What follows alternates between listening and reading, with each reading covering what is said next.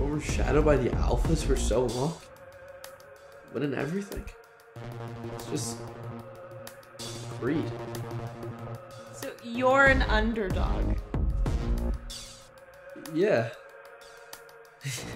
yeah, I guess I am.